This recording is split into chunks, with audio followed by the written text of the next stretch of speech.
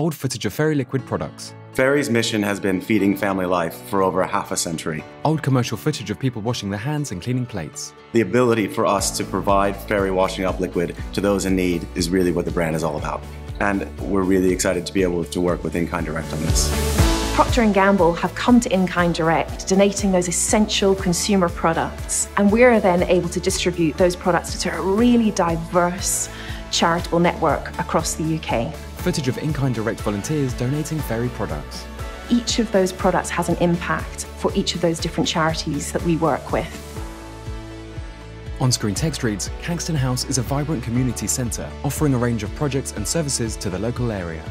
It's really important that we get goods donated like Fairy uh, from InKind Direct through donors like P&G because it makes such a difference to the way that we can run the centre. Video footage of Fairy Liquid being handed out at a community centre. Our partnership with InKind Direct has had a great impact across the last 20 years. We've been able to donate over 1.5 million Fairy products to families across the UK, and it becomes instrumental that we continue to give back to the community that has given to us for so long. Those essential products are there to help communities thrive.